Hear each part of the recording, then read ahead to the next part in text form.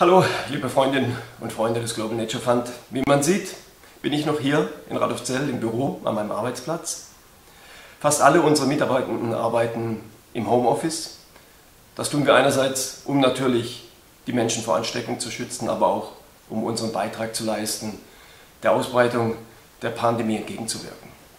Was die Mitarbeiter und Mitarbeiterinnen des Global Nature Fund leisten, auch im Homeoffice, ist ganz beachtlich und beeindruckend. Wir stehen mit allen Partnern in unseren vielen Projekten in Kontakt, in Asien, in Afrika, in Lateinamerika. Und was die Partner zurückmelden, ist nicht überraschend, dass es natürlich nicht einfacher geworden ist, diese Projekte umzusetzen. Wir erwarten auch, dass wir auch für unsere Arbeit in diesem Jahr in gewisse finanzielle Herausforderungen hineinrutschen werden. Das heißt, wir haben weniger Geld zur Verfügung, diese wichtigen Projekte umzusetzen. Einerseits habe ich natürlich viel Verständnis, wenn Spender, Unternehmen, Stiftungen uns diese Rückmeldung geben, dass sie sich auf ihr Kerngeschäft konzentrieren müssen. Auf der anderen Seite blutet uns natürlich das Herz, wenn wir sehen, dass in so vielen Projekten, gerade in Entwicklungsländern, wo die Menschen so sehr auf diese Projekte angewiesen sind, dass wir Abstriche machen müssen oder vielleicht sogar Projekte einstellen.